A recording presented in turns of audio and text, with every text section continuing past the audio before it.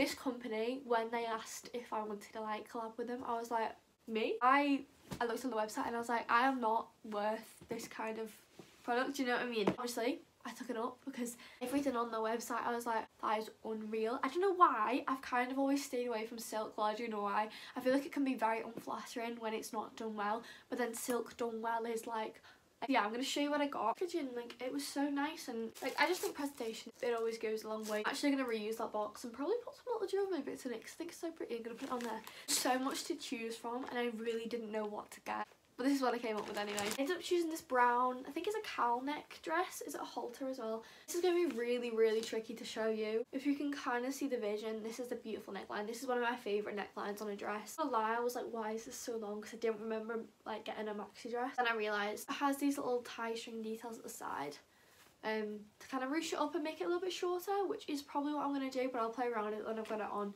I think this is stunning. I'm really hoping it looks nice. Like, oh, if it does, it's going to be my next occasion dress because I think it deserves to be ruined in a club with some drinks being spilt around. You need to buy this dress.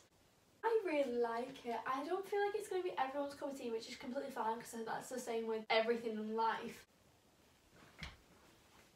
If you have a nice back tattoo, this is your dress. Like, this is your time to shine. The colour, the fit, it's so comfy. I don't I, don't really have anything else to say to be honest. Okay, the second and final thing I got is a little two-piece co-ord going on. Look at the colour. Like I actually tried on a prom dress in this colour and I loved it so much but like the actual dress didn't look nice on me but the colour I was like I love that. So it's a little set. I don't know if I feel like it is pyjamas. I'm quite honest, they look too nice to wear as pyjamas. They have a slit up the side as well which I think is a nice detail. The reason why I got this set specifically was I thought the top would actually be okay to wear out as well. As for the dress, this neckline is my favourite.